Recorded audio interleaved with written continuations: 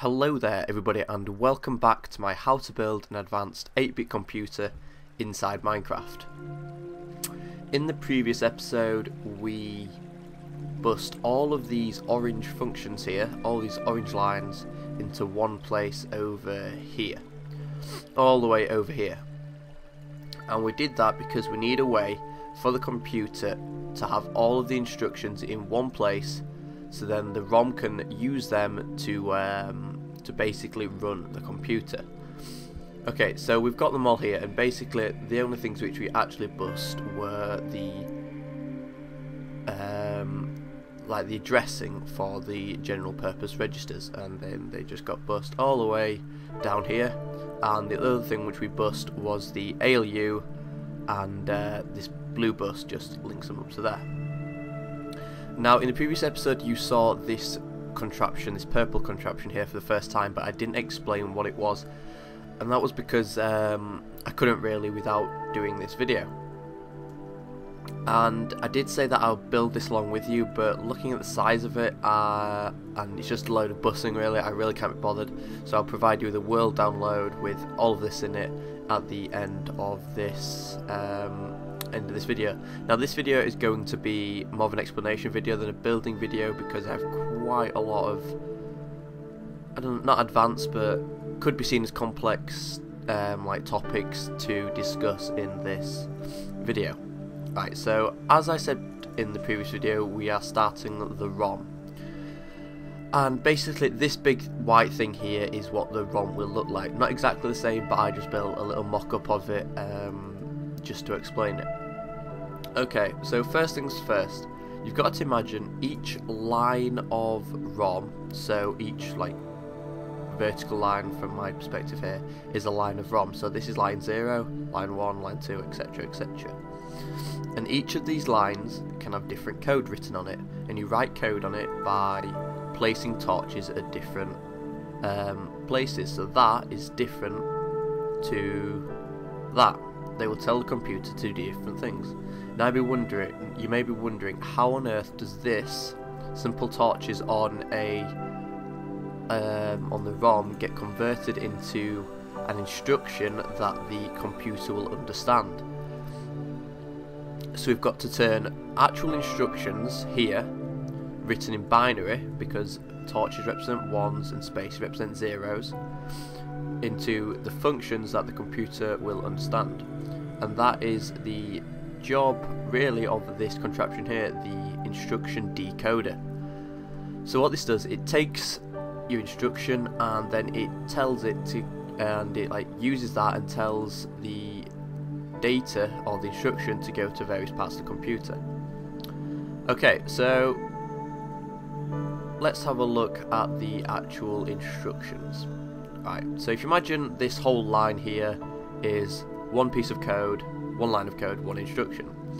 As you can see, it's split up into four different parts. We have this blue part, the yellow part, the red part, and the orange part.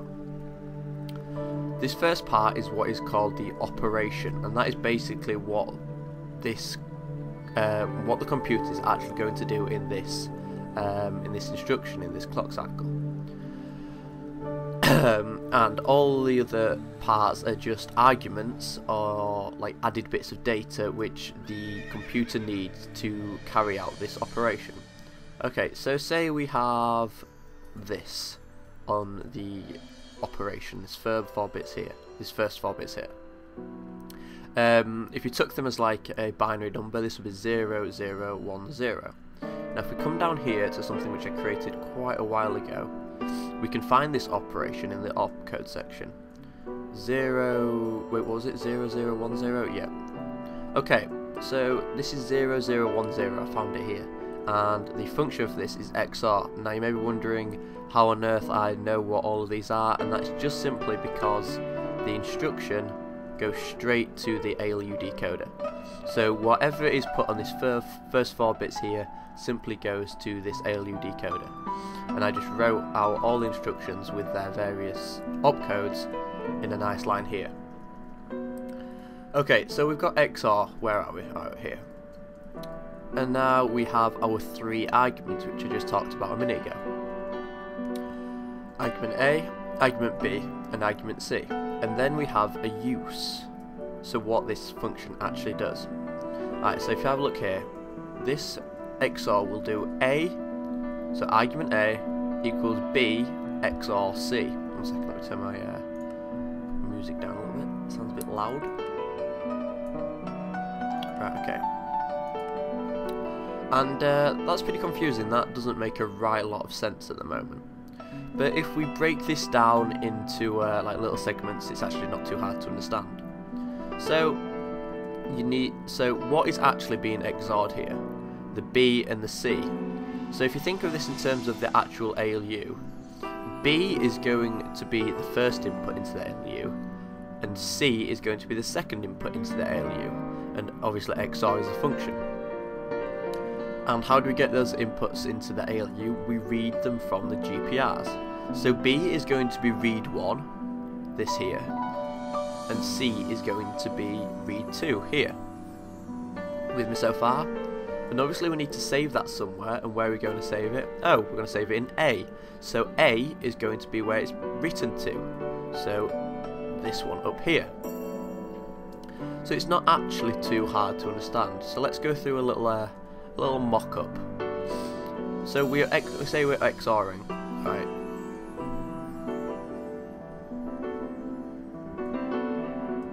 So on the first input, sorry, not the first input, the first argument, um, we say where the value of, um, like after the XOR has been computed, we say where that's going to be stored. So let's say we want that to be stored in register 5. So we put 5 on there. So we have 1, 0, 1, 0. Okay, ooh, right pain to get out of here. Not sure why I built it like this. Okay, and now we need to say the two places um, we want to read from to get the data to be XORed. Pardon me. Um, so let's do 1 and 3. So if you didn't know what this um, this instruction would actually be, to someone else, this would just look like a load of random torches on on a uh, on a line. But as you can see, with um, with that instruction set, that is actually what this whole thing's called. This is the instruction set. It's a list of everything which the computer can compute. Using that, we can actually um, we can figure out and decipher really what this is going to do. So what we're saying here is we're going to alien, uh, we're going to XOR whatever is stored in register 1 with whatever is stored in register 2, 3 sorry. So XOR everything that's stored in register 1 with whatever stored in register 3. I'm going to save that into register 4. Not too complex really. So now let's take a look at the actual decoder itself as you can see there are an awful lot of pistons which like vary where the information is going to go. But at the moment none of them are turned on. So if you have a look, like I said earlier, this um, the opcode simply goes to the ALU, so we can uh, forget about that one for the moment. Let's come down here and look at the write address. So I said that, um, sorry, the first argument. So I said this was going to be um, going to like go to the write address of the GPRs. And as you can see, if we just follow this round, obviously it's not going to repeat at the moment, follow along this wiggly bus, I joined it up to this top uh, decoder here, and that goes, pardon me again, and that goes into the the write of the general purpose registers. And if we have a look at the other two arguments, um, so let's do, where is it, the second one, that red one. If we have a look down here, the way I built this, by default it's simply bust all the way down here, obviously with repeaters in the future, all the way along here, and it goes into, down here, down here, down here, into this one here, the read 1. And the same thing for the read 2, I'm sure you believe me when I say that. So at the moment, there is basically this is not doing anything. It's just one long bus to the various um, various instruction inputs into the CPU. Uh, time data? No, time day. right then. Um, and that's pretty much um, pretty much the basics of it really. Now if you have a look down here, OR, NOR, AND, NAND, XOR, XNOR, add, sub, the other version of sub, and divide by 2, they all have the same general use. The only thing that's changing each time is the function. So nothing really needs to be um, changed um, with the arguments. All they're going to do is just going to go to the same place in the CPU every time, and the only thing that's going to be changed is this um, this instruction here. So everything else would be the same, but maybe it could be that this time. I don't know, something like that, whatever that gives in the uh, ALU decoder. But if you um, if you saw just down here, we actually have some more functions. We have six more functions at the bottom. And now these are functions which cannot be carried out by the ALU. So the ALU does all the logic and arithmetic. What happens when we um, when we want to do like data storage or data transfer and access RAM? That needs to be handled um, externally really to the ALU. Obviously still going to use the ALU, maybe a little bit, but it's not going to um, not going to rely on the ALU, and it's going to have different arguments, and that's where the rest of the decoder comes in. So let's take a look at this first, uh, this first like additional function, for uh, for need of a better word. Right, so it's SW, and that sounds um, pretty cryptic. That actually stands for store word. Word in this case um, simply meaning um, an 8-bit value. I think word usually in computing terms is actually a 4 byte value, but I didn't want to like write store 8-bit value, it seemed too long to write, so I just put SW. Right, and the opcode for this is 0101 if you're reading from right to left. So let's uh, let's go and input that. So we have wait, if I place that there, that went um, so what is it? Zero. No. Uh, zero one zero. I think if this had repeaters on it, I think nothing should be decoded. Wait, where's where's my input? Let's just add some repeaters. So hopefully nothing will be decoded by the ALU. Perfect. All of these are still on. Right then. So that's the opcode done. Now let's go and take a look at the various arguments. Where are we? Uh, there we go. So um, 0101.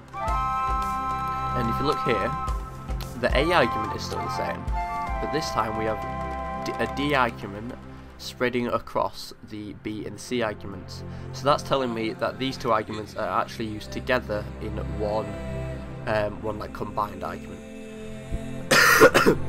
right, so this is uh, at the moment. Let's take a look at the uh, the use. Right, so this says RAM open brackets D close brackets equals A. Again, pretty cryptic.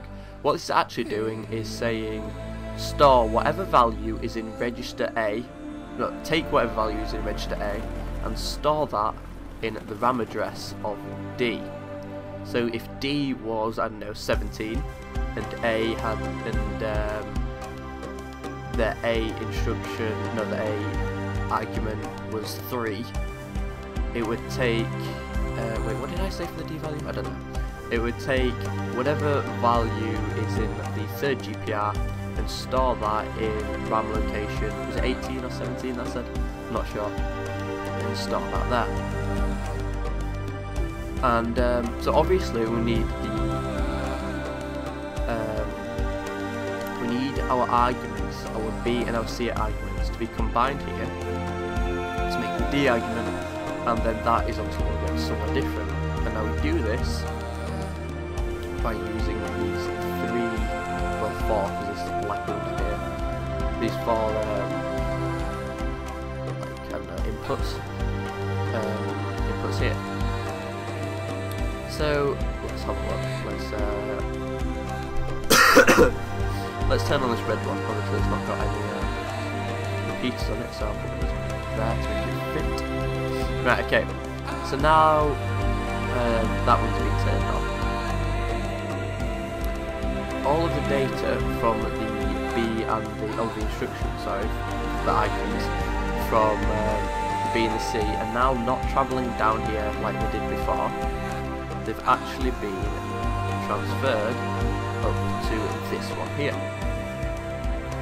And now this one here will go to um, this bus here. Because this bus here is the address for the RAM. So um, all I'll have to do is take this 8-bit bus here and then just bus it over to here. Not too difficult really. Okay, so that's the first one done. Really not too hard to uh, grasp. Let's take a look at the next instruction. Right, so if that was store word, this is LW, so this is going to be load word. Obviously it's got a uh, different opcode to the one above, but the argument is still the same. But instead of storing whatever uh, is in A and storing that in the RAM address of D, we're doing the opposite. So we're taking whatever's in the RAM address of D and we are storing it in A. So you can look here, A equals RAM D. And obviously the same thing is going to happen this time. This um, this address here will be bus to the RAM address, except if you look over here, can't remember if I explained this to you, we will be reading from RAM instead of writing, so this will be turned on. Simple enough really. Okay, for left. I know this is going to uh, get a bit tedious going through each one, but I think um, I think if I don't do this you'll be uh, very confused, and the next one's really easy anyway. Right, so now we've got LI. That stands for load immediate. Immediate being an immediate value, and if you don't know what that is, that is just a um, just a number, really, just a uh, big old number. Um, so if you hadn't realised, as it stands, we have no way of actually inputting any data into the CPU.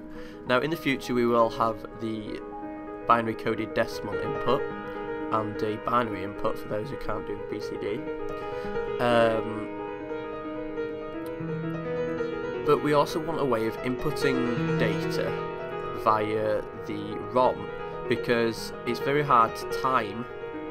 Like if you're having to input data manually while this computer is running it's very hard to time when you actually need to install it uh, install it and input it. So what we do is we use a way we have a way of inputting just a standard 8-bit value into the computer via the ROM and that is through an immediate value now if we go back down to our instruction set.